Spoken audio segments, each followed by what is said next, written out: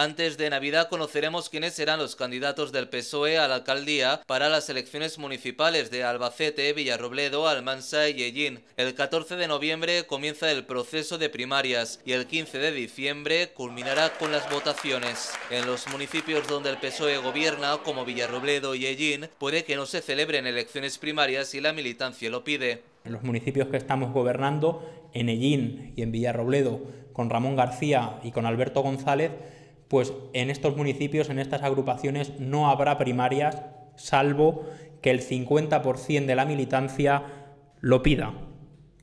Ese plazo de petición de primarias, tanto en Ellín como en Villarrobledo, empezaría el 19 de noviembre y concluiría el 23 de noviembre.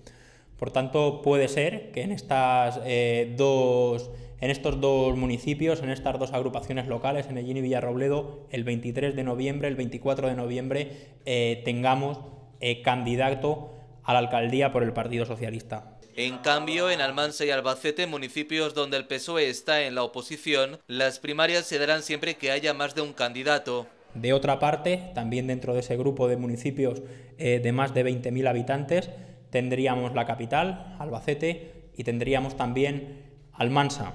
En estos municipios el Partido Socialista ahora mismo está en oposición y por tanto las primarias eh, se darán siempre que haya eh, más de un candidato que desee encabezar esas listas.